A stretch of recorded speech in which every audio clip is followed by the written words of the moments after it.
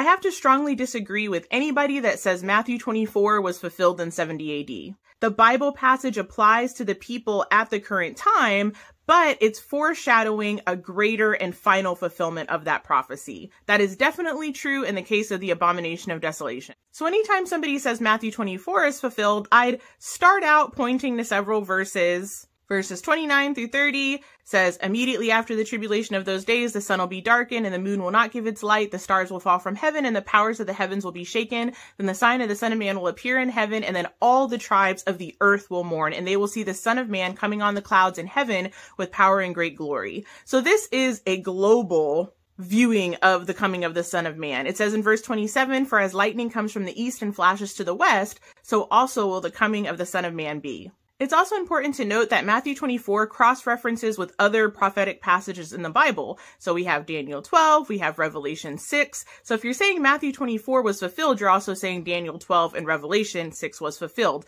But the problem is verses like Daniel 12 tell us that there's actually going to be a resurrection in conjunction with this final period called the Great Tribulation. So let's listen to Daniel 12. It says, There will be a time of distress such as has not happened from the beginning of nations until then. But at that time, your people, everyone whose name is found written in the book, will be delivered. Multitudes who sleep in the dust of the earth will awake, some to everlasting life, others to shame and everlasting contempt. We also find out that the magnitude of the final Great Tribulation is going to be worse than anything that's happened ever in the history of the world. Verse 21 says, For there will be great tribulation such as not been since the beginning of the world until this time, nor ever shall be. So even though the events of 70 AD were horrible, there has been events that caused a much higher death toll, much more death and destruction than the events of 70 AD. The destruction of the temple in 70 AD was a regional event. However, throughout the book of Matthew, we see a global focus.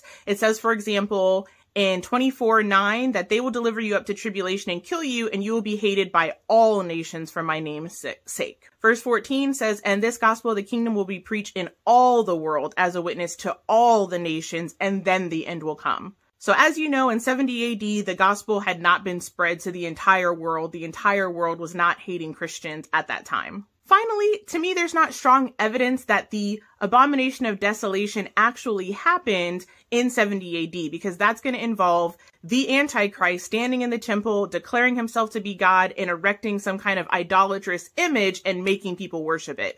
We know that the temple was burnt completely and destroyed, but there's not evidence that the abomination of desolation happened at that time.